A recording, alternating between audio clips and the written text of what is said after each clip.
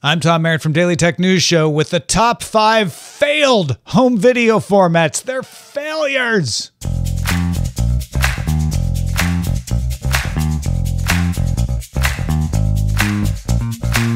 Think you know all there is to know about failed home video formats, don't you?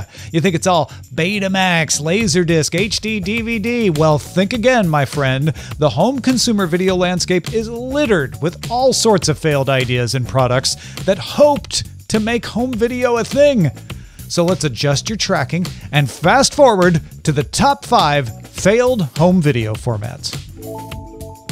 Number five, digital VHS, high def videotapes. Digital VHS or DVHS was devised as a way to expand the VHS standard into HD resolution, supported by JVC, Hitachi, Matsushita, and Philips. DVHS players can play classic VHS and SVHS tapes. You needed the DVHS tapes, though, if you wanted to record in 1080i or 720p. And when it launched in 1998, DVHS was the only consumer format to play back HD video. It would remain so until the arrival of HD DVD and Blu ray. However, a small library of pre recorded content and confusing technical specs translated into low sales. So the last DVHS movie was released in 2004. Up to number four TED, or Television Electronic Disc. German electronics company Telefunken released TED in 1975. The system worked like a phonograph using 8 inch flexible foil discs that spun at 1,500 RPM.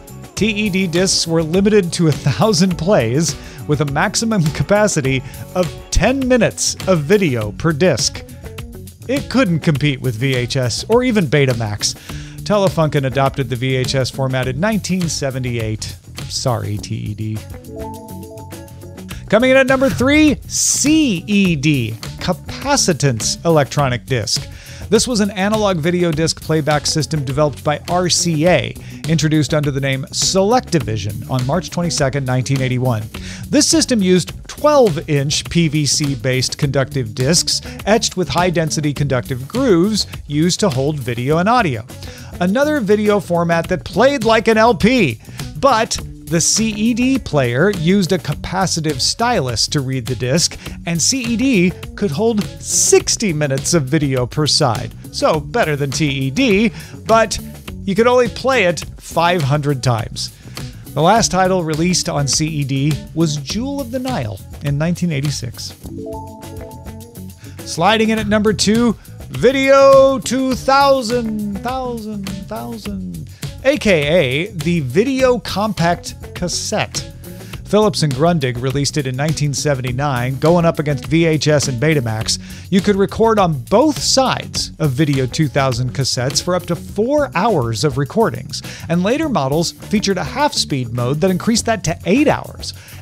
Because it was designed with PAL and SECAM video standards, it was released in Europe, Brazil, and Argentina. Now, technically, most people thought it was superior to Betamax, which doomed it because Betamax fell to VHS.